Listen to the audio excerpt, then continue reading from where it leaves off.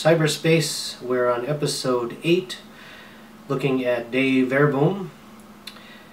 And of course, we're doing all of this in honor of this 50th anniversary of the opening of the Second Vatican Council, this year of faith.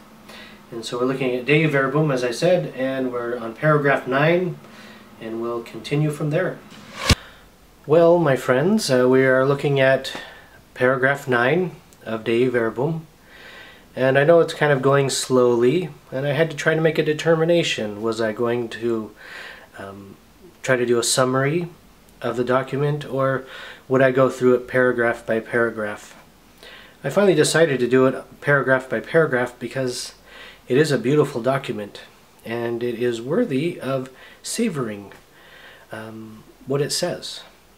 And it has much to say that is so beautiful about uh, scripture, tradition, the sacred deposit of faith, um, about our faith in general.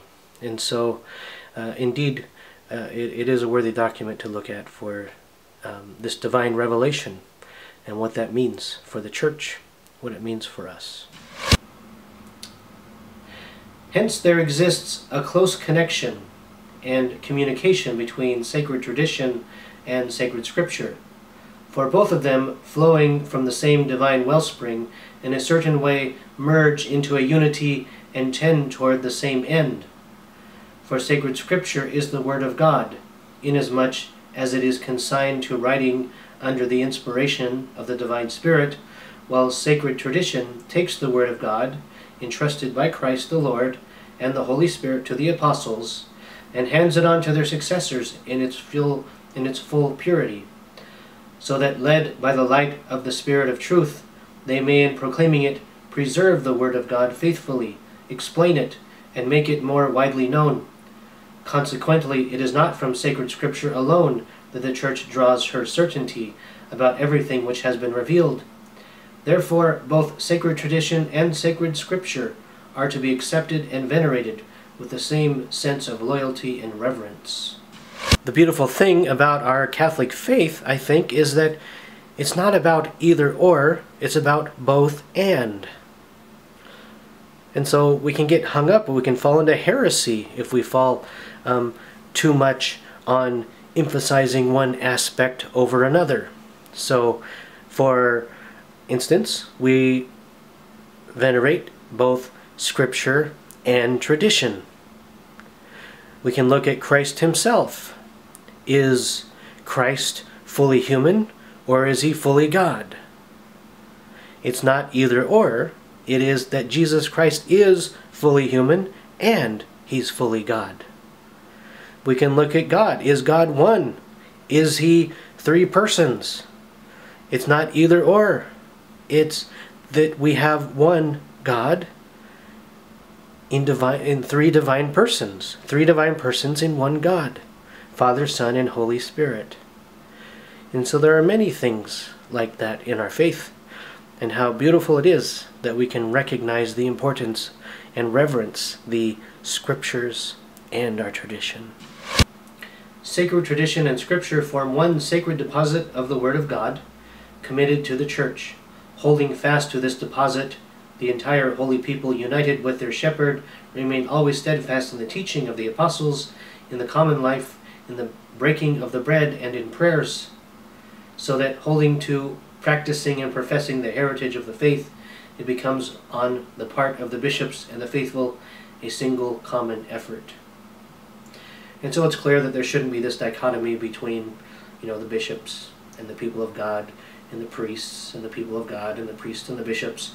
It's all meant to be one. We're one body, and we all are suited for um, uh, particular place within the body, and we don't want to talk as if one part is more important than the other, but that all parts are to work together in, in harmony as the body of Christ.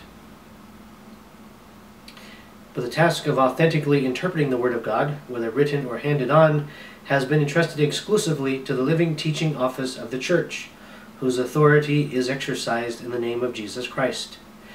This, of course, is speaking about the bishops who receive authority through apostolic succession.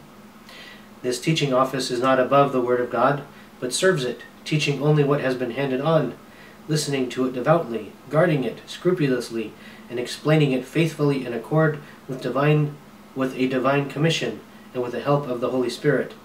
It draws from this one deposit of faith everything which it presents for belief as divinely revealed. So again, just reiterating that the church is not creating new doctrine. It is taking what is there, what exists as that sacred deposit of faith, and expounding it upon it, explaining it, but not creating something new. It guards and protects that deposit of faith. And the last paragraph. It is clear, therefore, that sacred tradition, sacred scripture, and the teaching authority of the Church, in accord with God's most wise designs, are so linked and joined together that one cannot stand without the others, and that all together, and each in its own way, under the action of the one Holy Spirit, contribute effectively to the salvation of souls. And that, my friends, is what it's all about. It's about the salvation of souls. It is the reason that our Lord Jesus Christ came among us, took on our human flesh, died on the cross for us, and rose again, sent the Holy Spirit.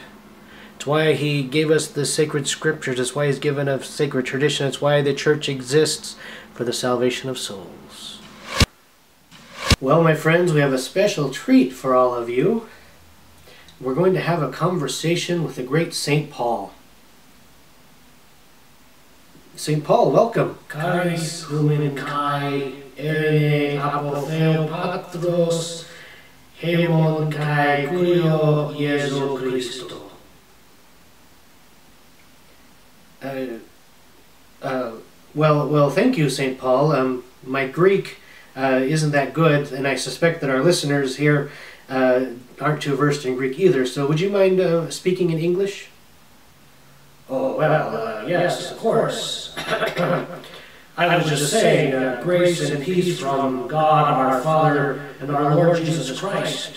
I, Paul, a servant of Jesus Christ, make mention of you always in my prayers. Well, that, that's wonderful. Thank you. I was wondering if I just might ask you a, a couple of questions, if that's all right.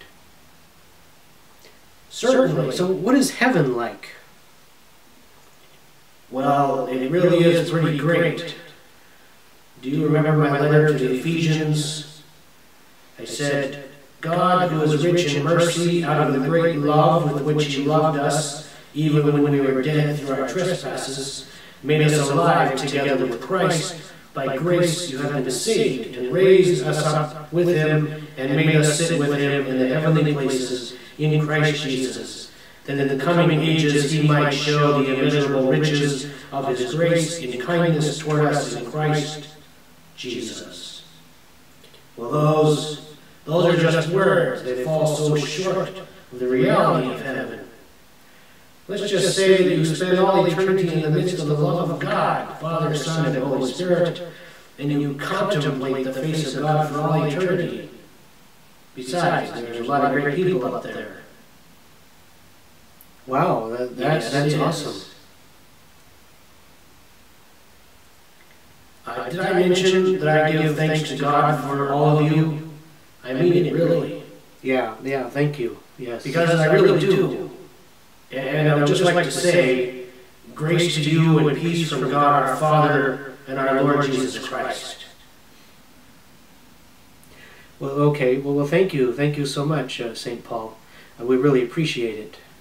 Uh, we did have another question for you. Um, you know, when you write your, your letters, um, we notice that the sentences are really, really long. Why is that? Well, uh, we had bigger lungs in those days. We didn't have to breathe as much. Oh, okay. Well, that wasn't quite the answer I was expecting. Uh, well, St. Paul, uh, we're, we're about out of time. Yes, well, there was one more thing that I wanted to say. Grace and peace from God our Father, Well, and everybody, Lord Jesus uh, Christ. I think that's all the time we have, but uh, thanks for, for joining us, and, and thank you, St. Paul. Father, mercies